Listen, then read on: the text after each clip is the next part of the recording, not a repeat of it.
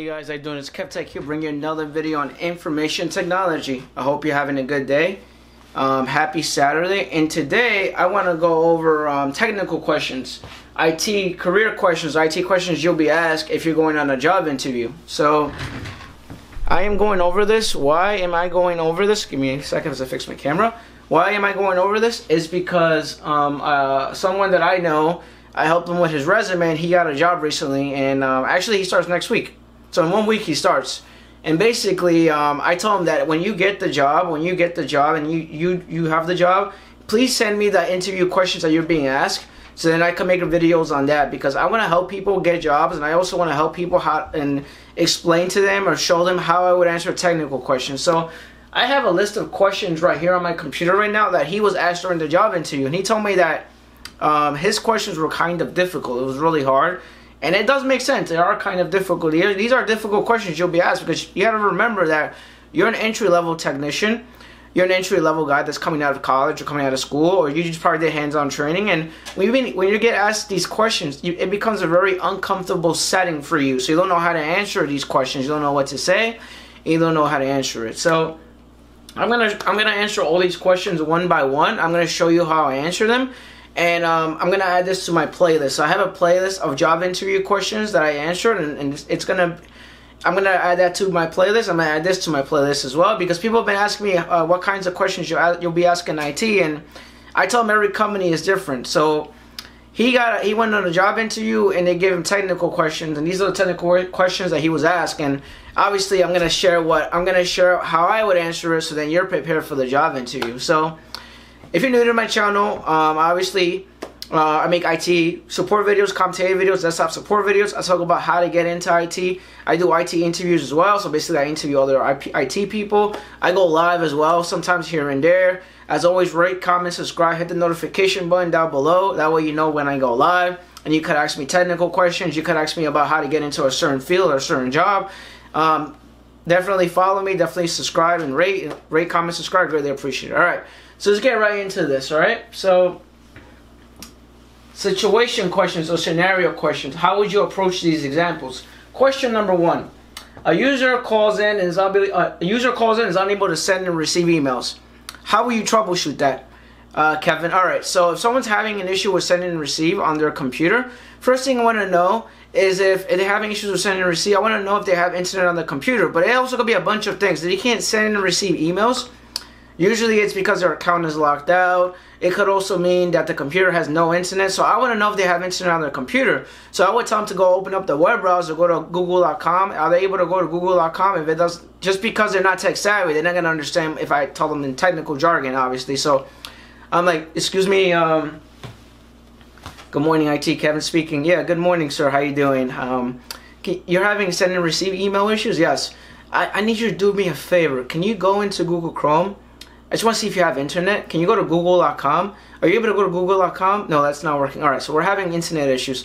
Are you able to open are you able to open up another website like YouTube or something or any any type of website? No, it doesn't work. All right, I, I might have we might have a uh, internet issue on your computer. Um, seems like you, there's something wrong. On the bottom right hand side, is there a yellow triangle? By the way, there is a yellow triangle. Oh, you're having uh, you're having internet issues. Uh, is it just you that's having this issue, or are there a bunch of people in the office having this issue? This issue? Can you, can you please let me know? Um, no, it's just you. You're having that issue. Okay. Um, I, am I'm, I'm sorry to make you do this, but is, I, do you have any Excel files or Word documents open right now? You don't? Is it okay for you to restart right now and just save everything down before you restart? Can you restart your computer? That sounds like you might have some internet issues with that. With that, that might fix it. Can we try that? Uh, you can't? Alright, just restart. Is your internet working now on your computer? It is? Good. You able to log in? Yes, good. Um, is your Outlook working? It is working. So it might be that issue. It might be an issue where, where you might have to restart the computer and you can't get on their machine, so you might have to restart and that might fix the send and receive issue. Uh, obviously, their account is locked out. They, they can have send and receive issues too. Also, it could be their mailbox is full, so we have a certain amount of emails you could keep on your on your um, Outlook profile. Um, if that mailbox is full, it'll reach a certain limit. It would say your mailbox is full. Uh, you you will not be able to send and receive emails. Your mailbox is full. you have to contact your sysadmin and they have to extend the mailbox. And then once they extend the mailbox, then he's able to send and receive emails. That's scenario number two. Scenario number three will be is that his Outlook profile is corrupted. So you might have to go into the start menu on the bottom left hand eh, left hand side, type control panel, obviously close out of Outlook, type control panel, go into mail, change the categories to small, click mail, click new profile put a new profile name in there and they put that it always opens by default on this new profile. Then click Outlook let Outlook open. It will recreate the Outlook profile on his computer and then see if he can send and receive emails after that. And if he can then that would fix that problem. But then you have to let him know when you create an Outlook profile that's brand new that he's gonna have trouble searching and then Outlook might be a little bit slow because it's recreating the whole Outlook profile. So obviously you got to tell them that you know it's going to be a little slow, and you might not be able to search for stuff. You might have to wait for it to re-index. So basically, what that means is basically that um, the the profile is trying to fix the search engine. So once it fixes that, then you'll be able to search normally again. So it depends how big your mailbox is. If you have a small mailbox, then it will not take that long. If you have a big mailbox, then it would take a while. So that's how I would answer that question. Question number two. A user is unable to complete a training on video, so the video will not load. So that sounds like a driver issue, so that might be a device manager. I had this issue before. I had this issue like one week ago. So um, a user had um, the video would not load is because their their sound settings weren't working. So I had to uninstall, reinstall device manager. How did I do that? I typed computer management. I did open file location computer management. I right clicked computer management. I ran as admin. I, I, I scroll all the way down from groups to event viewer and everything. Scroll all the way down to device manager. I uninstalled sound settings. I reinstalled sound settings. It prompted me to restart. I restarted the computer and then the web browser and the sound worked after that. That might be that issue. Another issue, another way to fix that issue or that video is not loading might be the other issue where basically they're using Internet Explorer. You might have to clear cookies and cache and see if that fixes it. And then reload the website or the web page refresh the website and web page and you should be good after that. You would go into internet options history delete history delete cookies and cache and that might fix that issue. Another another way to fix that issue might be that web web browser itself is corrupted you might have to go into restore or reset settings all the way towards the last tab on uh, internet options hit restore settings reset reset IE and it would say um, you have to restart IE for it to take effect you reset IE you turn to uh, you close IE uh, you close IE and then you reopen it again and go back to the website. So that's for IE. For Chrome, same thing. Clear cookies and cache, type in settings, go into cookies and cache, clear history, browser history. Um, either that or you might have to re reset the whole Chrome browser. So you might have to type reset in search settings inside of settings, reset the browser, and that might fix the problem. Another thing would be is that you want to see if it works in IE. If it doesn't work in IE, tell them to go into Chrome. If it doesn't work in Chrome, tell them to go to IE. You know, vice versa. So it might be a web browser issue. So it might work on IE. It might not work on IE. It might be not compatible with IE. That video that you're trying to load might need Java. So it might be, it might work good. It might need Java and Silverlight.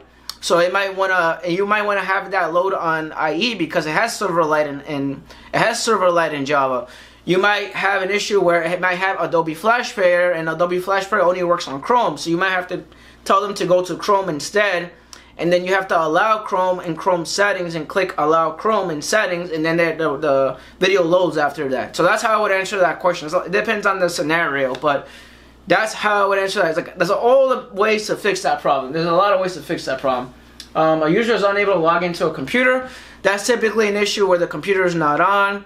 Um, computer's not on. Um, the user account, uh, the trying, the person is trying to log in, their account is locked out. They, um, they just changed their password. Their password needs to be reset, so their account is locked out. It'll be three. Number four is the computer probably is no longer on DNS. That means it doesn't have an internet. It has no internet, so no one can log in. That means it lost, it fell off the domain. So basically, what that means is it, it it's no longer on Active Directory or it's no longer on the domain. So you might have to, you might have to log in as a local admin local administrator um, remove it from the domain and re-add it from the domain. It could be that issue too. But you're just not able to log in. It's because the computer's not on. It, it, that's that's the that's the best that's the best answer for that. The computer's not on. If the computer they can't log in, it's because the computer is just not on. That's basically what it is.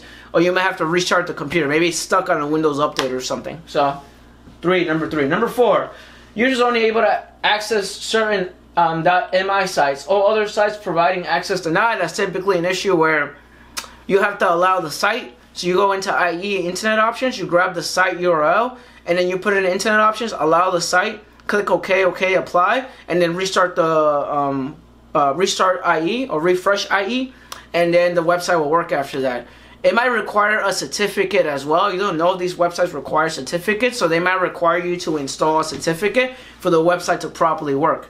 Um, that's number two. Number three would be is that the website is fully blocked by your network admin. How do you test that? Um, you take the website, um, you take the website, you go on your, you go on the website yourself and see if you're able to access it. If you're not able to access it, he's not able to access it. That means there's a network issue. There's something going on with the network. How do you test it even further more? Um, you go into your phone. Um, if your phone is on company Wi-Fi, take it off of company Wi-Fi. You go on the website on your phone without being on company Wi-Fi. And if it works on your phone, that means that the company is blocking it. That means the network admin team is blocking it. So you might want to reach out to your network admin team and see what they're blocking. You know, they might be blocking it. So that means that that's what's going on right now with that with that website. It could be that as well, and it could be a bunch of other things. And that's how I would answer that question. All right. Question number five: Users unable to open unencrypted uh, emails. So that sounds like a, that sounds like a like a, a WinRAR seven zip program uh, problem. So when someone's not able to open up an encrypted email, typically it's because they encrypted it with with uh, with a zip file. So you might have to un- you might have to install WinRAR or you might have to install 7-zip and then right click on it and extract file and it'll prompt you for the password. It could be that. Um, encrypted emails, it could be that. It could also be it could also mean the encrypted email might require you to um, I seen encrypted emails that it might require you to log into IE and then put in the password or put in put in a login and then you're able to unencrypt it after that so it depends what kind of encryption file it is this is encrypted emails but I've seen people where they get encrypted emails and they click on the link and the link takes them to IE and then when they go into IE, they have to log in with their username and password. And then when they log in with the username and password, they're able to unencrypt the file and able to download the PDF file or whatever file it is. So it could be a bunch of different things, but that's how I would answer that question. Number six, a user logging into a computer, the user is able to log into a temporary file. When they ever, so whenever they log in, they log into a temporary profile. I've seen that issue before you have no idea how many times I've seen that issue. Usually it's it's a computer issue. Sometimes it's an issue where the computer is um, um, it was not imaged properly. So basically, when you build a computer from beginning to the end, the computer is corrupted. You might have to re-image the whole computer. But how would I fix that issue for the user?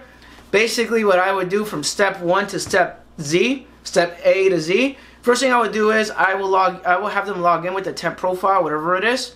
Um, I back up their desktop, I back up their downloads, I back up their do their documents, I back up anything that we don't back up basically.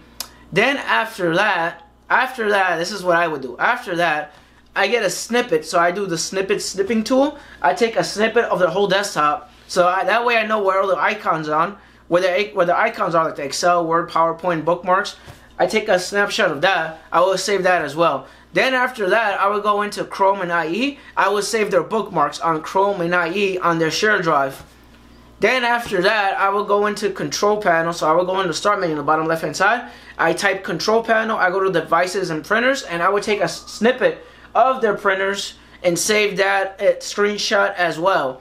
So after I do after I'm done with all that, because I'm not sure if any of these things are getting backed up, I would do all after doing all that, I would log log off. I would have him log off. I log in. I go into um, this this PC or my, or my computer. Right click on it. Go into properties. Go into system settings. Go into user the user profiles. I would delete the temp profile and I would delete his profile because when you have a temp profile, usually has two profiles. You have you have his OC his his uh, old old domain profile, whatever it is, his domain profile. It could be whatever.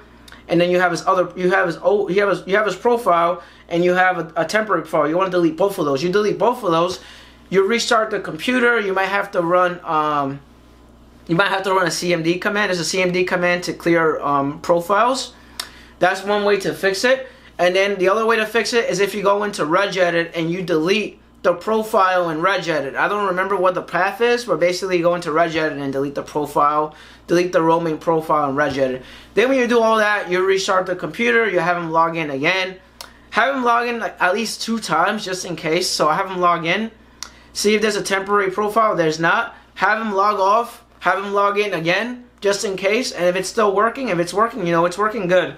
Then when you have him log in, um, you go back on his computer. You put back his documents. You put back his downloads. You put back anything he had on his desktop. You put that back.